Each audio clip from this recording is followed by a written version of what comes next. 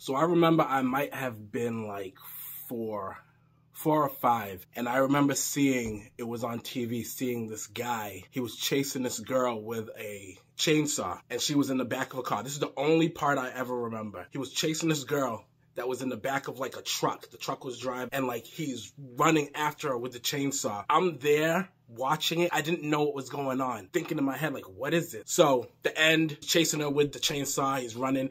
The car drives away. The girl's hysterically laughing in the back of the car. And then he starts doing this little swinging the, the chainsaw around, doing this little thing twirling around.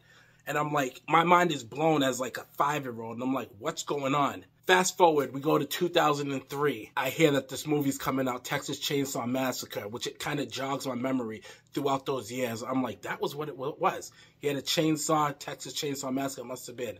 So I go back and I watched the original movie, which mind you was the weirdest movie once I seen. I remember watching this and being like, yo, what is this? Like, this is crazy. So after I watched that movie, my mind is blown.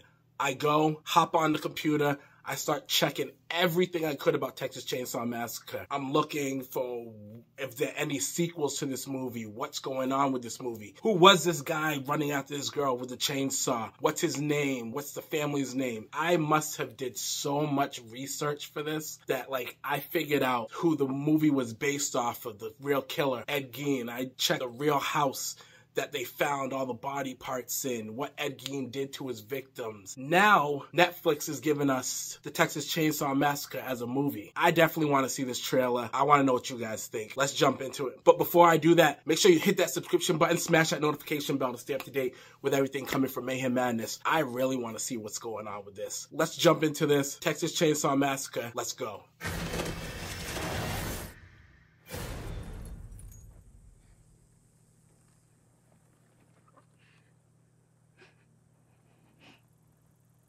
No one's ever safe out in Texas for some reason. Especially like in just a deserted area.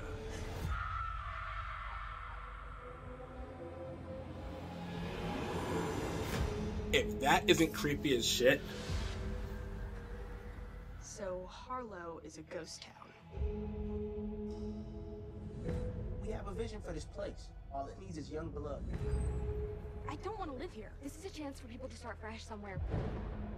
Oh, we gotta bring in the kids, the teenies. Bring in the teens now. Something. You should see this. Something always happens to the teens.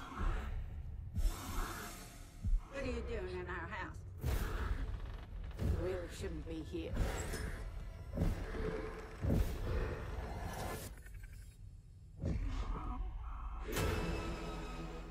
Oh my god. Ooh. Yes, the chainsaw. This is Hardesty. Dolly, I'm afraid your old friend's back. Oh, so we're going back to the original. For this night, That was the girl in the back of the truck. just to see him again. Okay. Leatherface. How'd you know his name was Leatherface?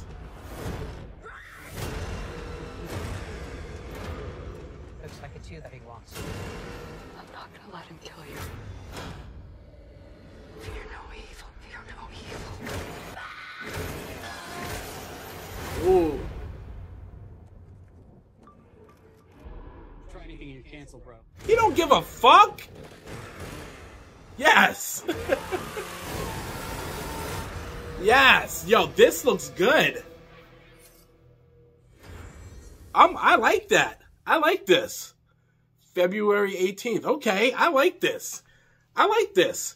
Especially for the fact that they're going all the way back to the beginning, the original, original one, not the Jessica Biel one or the one that was before that where they made his origin. We're going back. Okay, I like that. That that looks good. I'm not mad about that at all. That looks good. This looks really good. I like it. I like that they're going back to the original, that we're getting the girl from the original movie, the one where she escaped, because at the end of the movie, spoiler warning right here, at the end of the original one, she escaped in the back of a truck and just drove off, and she was laughing hysterically, which she kind of looks like she's kind of lost it throughout the years.